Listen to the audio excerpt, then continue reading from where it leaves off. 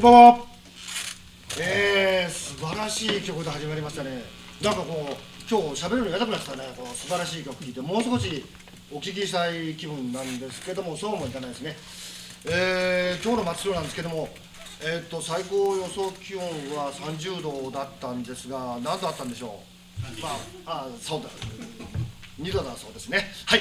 ということでね、今日今帰ってきてね、新聞投げ持ってきたらね、この今、えー練習してたらね、日本政がこう折ってこれをこれ喋くれって、三田教育に喋っちゃいけねえって、長えから。ということでね、眞子さまは修復に会釈ね、えー、いう感じに出てました。えー早く切り上げろということなんで、はい、えー新聞はそれだけでね、えー今日はですね、えー素晴らしいね、今お聞きした通りですね、たけちゃんバンドのね、皆様にご家族だそうなんですけれども、はい、じゃあ、名前間違えちゃうといけないんで、自己紹介でお願いします。はい。はい、あ皆さんこんにちは、えー、竹ちゃんバンドのお竹内でございます。私はあのマンドリンをやっておりましてあの竹内克明と申します。どうぞよろしくお願いいたします。はい、次は、はい、えー、と竹内清と言います。えー、とリーダーの、えー、と実定でございます。実手、え小野さん。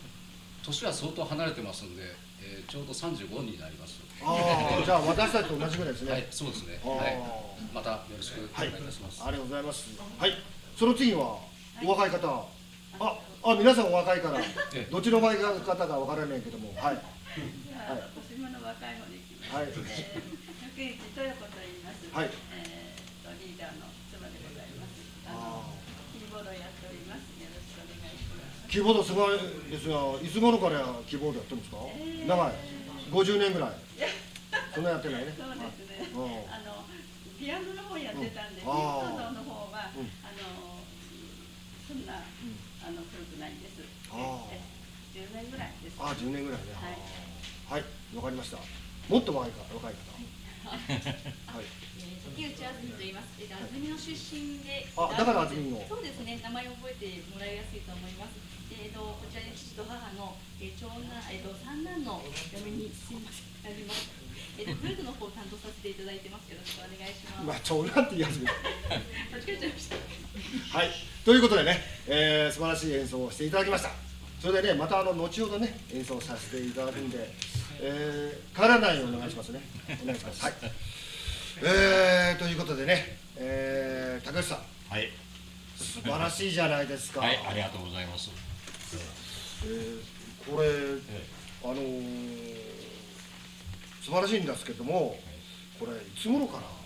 えー、っとですねもう6年ぐらいになりますね。はい。6年でこんな素晴らしい？そうですね。はい。あのはい。えーきっかけはですね、あの民生委員をお7年前民生委員やりましてあその前妻がやったんですがその引き継いで私も民生委員やりましてああ、ではい。ね。えで私東城なんですが、はい。そこにあの独居老人のですね、えー方々の会食会がありまして、はい。でそこであの伴奏をちょっとつけるかっていうそれがあの最初きっかけでねああ。のスタートした。で、これが写真に撮ったんですか？あのちょっと写真に写していただいて。はい。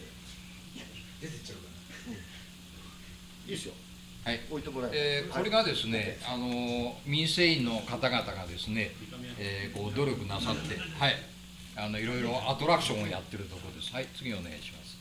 えーいうことで、あ、えーっと、はい、これは手品ですね。はい次が、はい、はいえーこれがあのそんな形で、えーいよいよスタートしてみようかというその最初の頃の写真です。はいはい。まあこれもそうですね。あはいこれはこれで終わりですか？えーまだありますか？はい、じゃあ、はいはい。はい。これはえーっとこれはですね、はい。あのいろんな場所でもあのその後ですね、えー非常にこうだんだん人気が出ちゃいましてですねおあのあちこちであのお呼びいただくようになってこれはあの教会松代教会これはあの民生委員の集まりの中で松代の童謡を紹介したというね、はあ。はい、そんな場面ですね。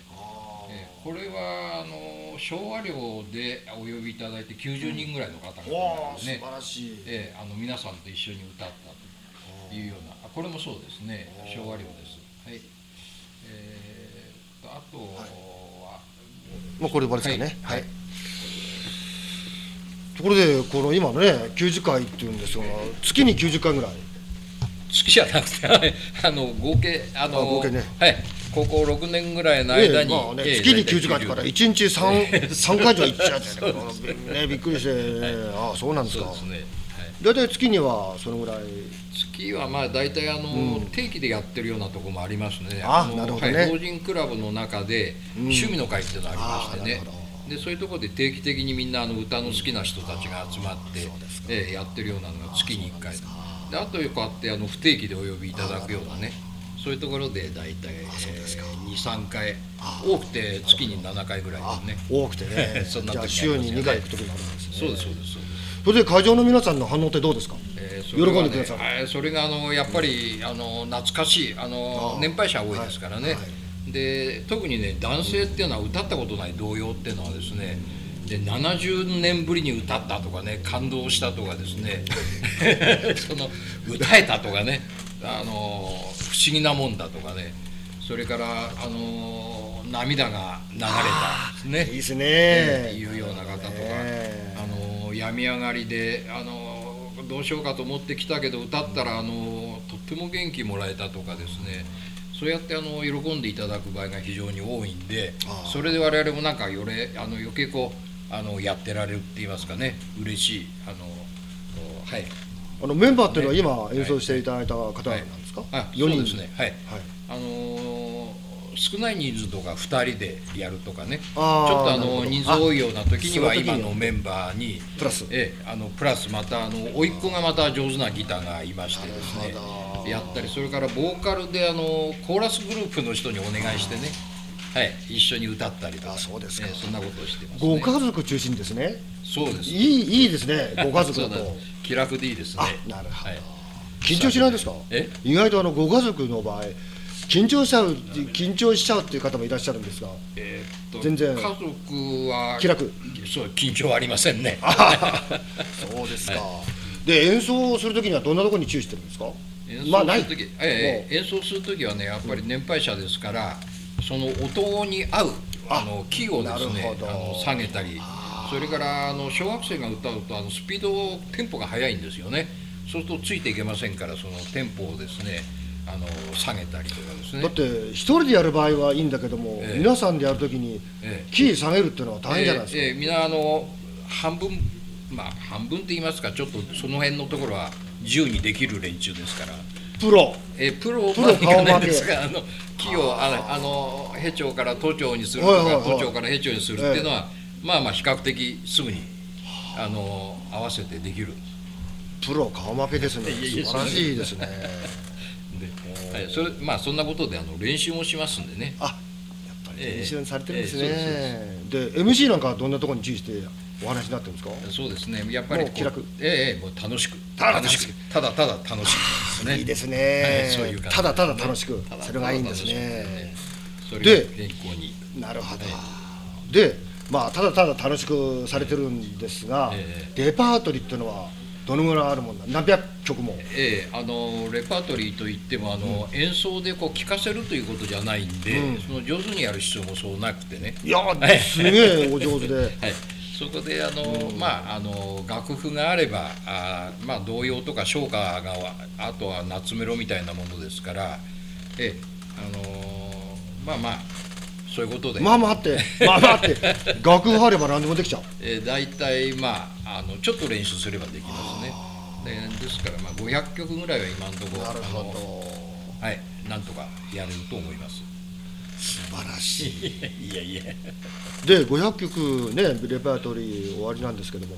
まあその中でも500曲が得意じゃなくてまあそのこんなのは絶対得意だよっていうのはどんな曲がお得意なんですか？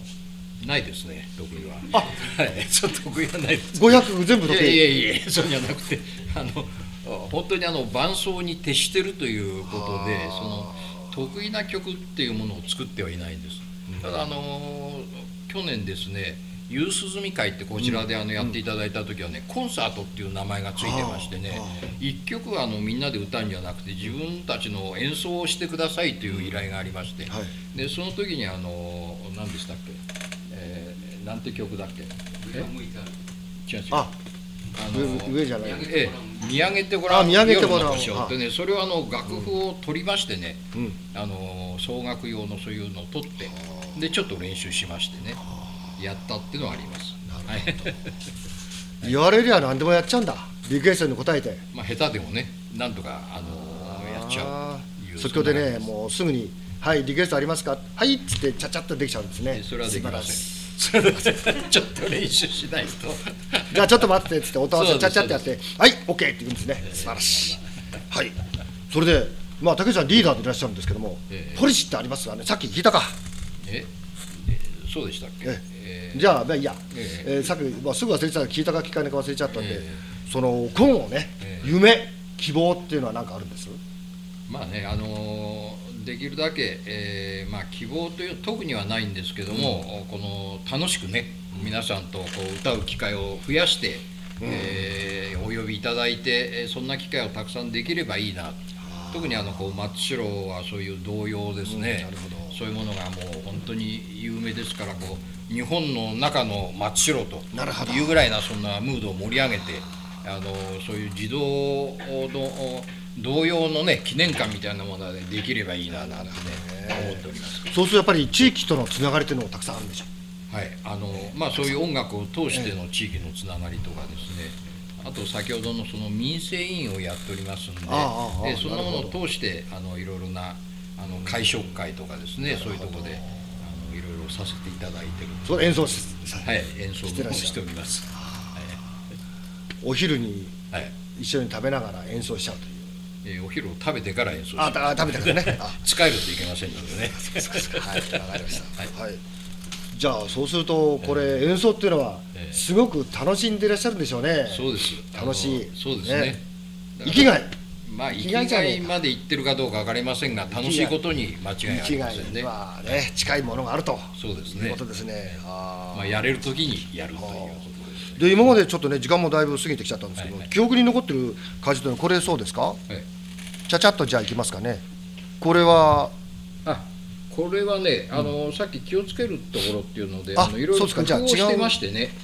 はい、えーじゃあこれが、はいこれもじゃあちょっとあ飛ばすいただいて。はい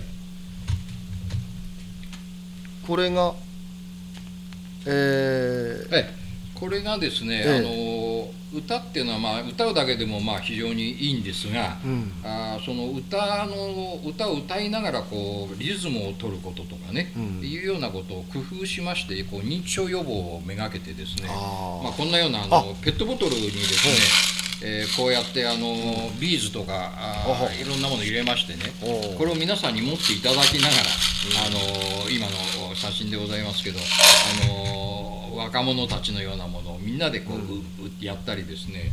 それからこんなようなあのトーンチャイムなんてこういうあのお楽器がありまして。でこれはこう叩くとこんなあのいい音がするんですけども。感激しますね、はいはい。音だけでねでこれを使ってですね、ええ。あの先ほどちょっと出ますかねあの写真えーこれですか？あその次。とあこれ今のあこれですか？はい。はい。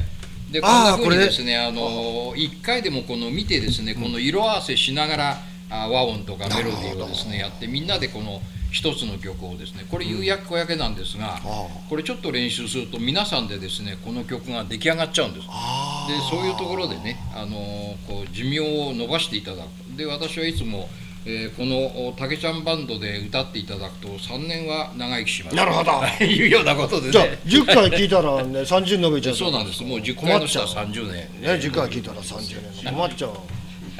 じゃあ100何歳になっちゃうと困っちゃうじゃないですか。そうですね。うんはいえー、っとだいぶね時間も過ぎてきて申し訳ないんですけども高橋さんそれだから最後にねえー、これはあ写真ありましたっけね、ええ。写真。はい。これは何かありましたか？記憶に残ったと。あ記憶に残った。ちょっとじゃあはい。はいであとこれがですねあのボランティアをやっているということの紹介で福祉大会でですねあの文化ホールで皆さんとねあの一緒に歌ったっていうのはこれがあのちょっと場所が大きかったんで記憶によく残ってます。あなるほどね。それからですね、はい。これはあの育児サークルですね、でこれは松代の育児サークルの皆さんがクリスマス会をあのお子さんと一緒に楽しみたいということで、なんか児童センターみたいなとこですか、えーあの花の丸児童センターでですね。ああやはり。であのサンタをやってくださいって言うんであー。これあのサンタさんは私です。あということでね。でサンタさんでえ演奏した。ええーそうです。それであのいろいろプレゼントを渡すとかねははい。樋口家ですか、そうです。これはあのこちらのですね夢空間の方で先ほど言ったあのコンサートが夕涼みコンサートがあってはこれはあの屋外だったもんですからね非常にあの印象に残気持ちも良かった。え気持ちよかったですね。雨上がりでね雨がどうなるかっていうことですがやり始めたらあー天気になりましてね。晴れ男で。そうです。はい、とっても楽しく、はい、させていただきましたそれでは最後にね、はい。えっ、と一曲おはい。聞きしながら今日はお別れしたいと思うんですけども準備をお願いします。はいわかりました。はい、はい、ということでね、えー今、あ竹内さんがあー準備をしていただいている間にですね、えー今日素晴らしい、ね、演奏、良かったですね、これからまたあの素晴らしい演奏をね、もう一曲お聴きしてね、えー今日はお別れしたいと思うんですけども、えーどうでしょう、お竹内さん、準備の方はあーもう少しですね、えーはい、OK ですか、はい、OK だそうなんで、それではお願いします。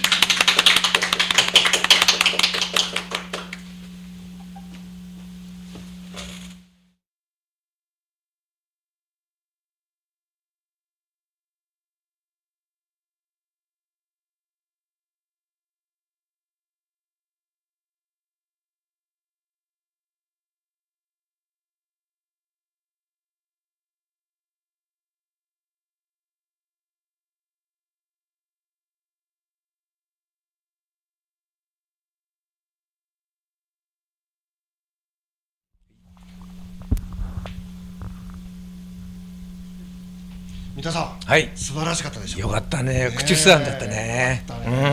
口ずさんじゃった。そうそう。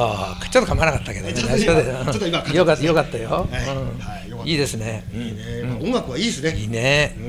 ん。またちょっとどっかでやっていいやね。え、え、え、あの歌歌うん聞くのもいいけどね、歌うのもいいね。あそうか、うん。やるのはちょっとね、私じりじりしちゃってダメだけど、やっぱり。はい。はい、そんなことでね、はいこれをね、27日、ははい。い、えー信州ロケ地ツアーってのをね、やるんですよ。噛ん。でる今ねうん。やっぱり釣られてる。松代でね、えー、樋口もそうだしね、えー、真田訪問真田邸ね、ね真っ白城、まあ、いろんなところね、これ、映画にね、使われてるのね、そういったところをね、あのコンベンションビューローのね、跡部さんにね、ちょっと案内してもらうと。あーいいね。はい、はい。こういうのもね、あの結構ね、いろんなのがね、来てるんですけどね、私らあまり知らない。ああんまり教えちゃうと皆さん来ちゃうので。あやってる時はね、やってる時は絶対終わってからでいいやね。あそうここが撮影したはい。現場だよっていうのをねそういうことね。いいじゃないですか。うん。だこれをねちょっとご案内していただこうかなという形です。はい、はい。はい。予告をおはい願いします、来週はねこういう形です、えっ、とね松代にも新しい方が来見てね来てね新規開業っていう形です。おうーん。あのねカゴカフェ。カゴカフェ。このこの花咲くやっていう。ちょっとちょっとちょっとダメだ初めて読んだでしょ？うんそうそうそうそう、ねえ。ちょっとね、はい。難しいんだけど難しいね。うんちょっと行ってきましたけどね、はい。あの古い古民家を利用してね、うん。ちょっとあの洒落たやったけどね、いいのいいの古民家。ツッコミはねいやね。いやでもね綺麗になってましたよ。今弁解してるじゃんみたいなそ弁解はいい。いやまあそういったところでね大宮さんって、ね、方なんだけどね。こうこれね工芸作家フードコーディネート、はいわかりましたその人来ていただいてちょっとお話皆さん。うん、私やらさせていただきますあーんで、大変ですね、はい。お疲れ様でございます、そうい。うようなことで、ええ。来週は。はい。はい。はい。じゃあ楽しみですね。はい。それでは来週。のおしゃべりにますどうぞ。おお楽しみに。に